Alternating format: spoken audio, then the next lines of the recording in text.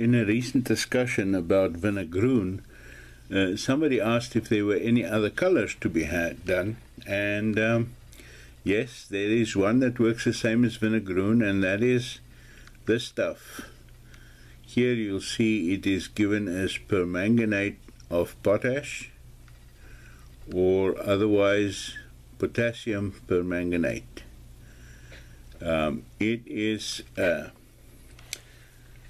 sharp oxidizer and as kids we had to bath in a little bit of it.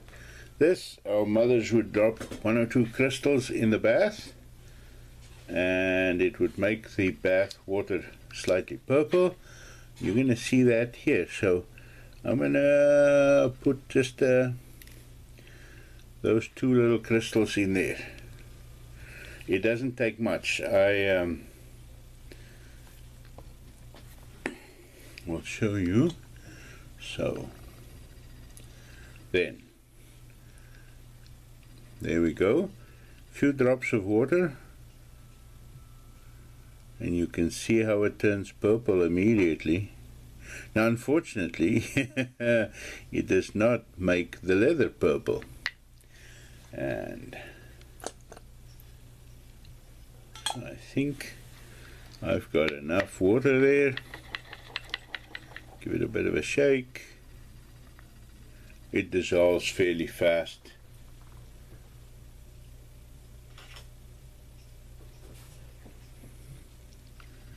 Um, stir it up a bit stir it up, stir it up. If you have it very strong, you get a very dark uh, effect. If you have it very weak, you have a lighter effect. Um, and where I'm going to publish this video in my Leather Learn blog, you will see I have photographs of a whole cover that I have made for a bound volume using this mixture. Now, okay, that should give us a start. I am going to use this on this piece of wood inlay not really, but tooled piece of wood inlay that I have on the back of this journal cover. And so I'm going to use use this on there. Um, and the reason why I'm doing this particular one, um, I am a bit scared. The leather that I'm using is a special double shoulder that I bought that's got a slightly waxy surface to it. So I don't think this mixture is going to spread very evenly. But with this wood texture finish that I'm working with, it will be perfect. Because I wouldn't want the wood to be totally even. It's not a piece of vinyl wood, it's a piece of wood wood. So, let's see. Yeah, it's not dying evenly, which is fine and you can see immediately that is turning brown that is not just the wood uh, the, the leather showing being wet that is immediately the um, oxidation that's taking place. And so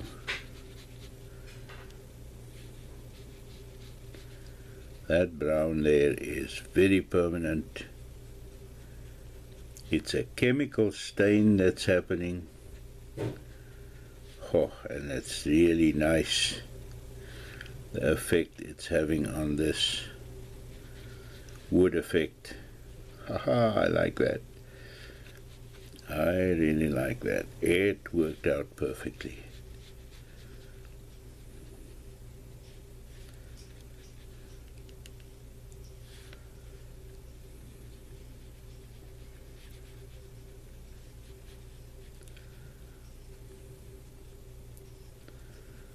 And there it's done.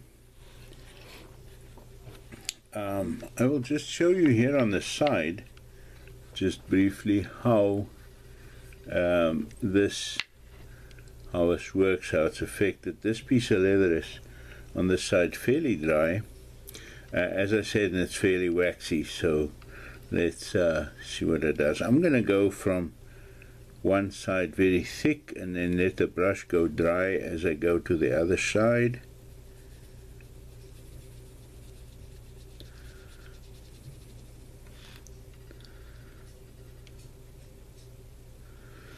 Let me do that again and get this side darker. Now you'll see when I go on it the second time, it's almost like the surface of the leather is resisting um, the liquid now once that first oxidation has taken place, it is tougher to do the second and third surface coating because it's like it's water repellent almost now that surface so.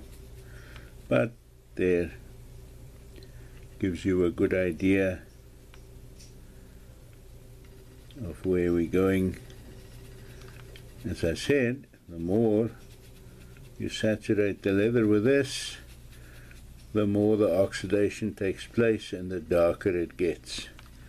So, let me try and do this on this piece of tooling and we can see my feeling is that it's going to pool in the tooling impressions and make that quite a bit darker. Let's see what happens take a few detailed photographs of this when we're done and show that on the Leatherlearn blog post too.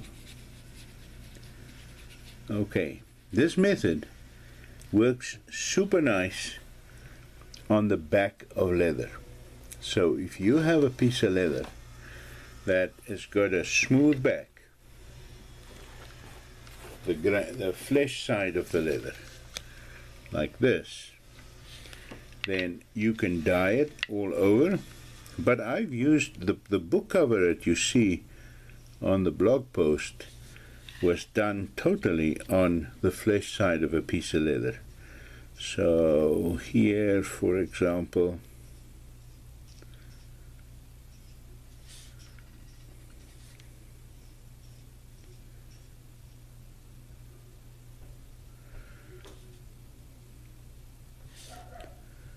can do this sort of thing.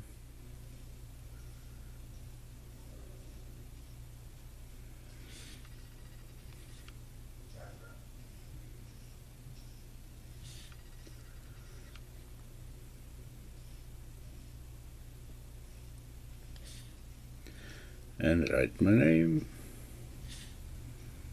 or my initials rather